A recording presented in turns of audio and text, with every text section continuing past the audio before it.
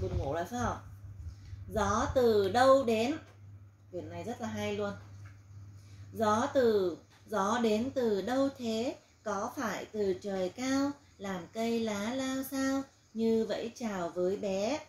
Gió đến từ đâu thế? Từ đôi bàn tay bà hay từ mo? Câu già, bà cầm phe phẩy mát. Gió đến từ miệng hát, rồi thổi phù không sao. Mỗi khi vấp ngã đau đứng dậy ngay không khóc hay gió từ máy móc từ cái? Cái. cái gì? Cái máy móc.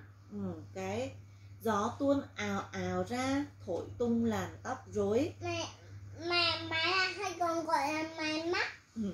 Hay gió từ cây cối xòe lá như bàn tay thổi nhiệt tình hăng say cho đêm dài mát mẻ. Hay gió từ cánh xẻ đập đập bay lên mẹ trời. mẹ ơi mẹ muốn cho xem mẹ để để chim sẻ.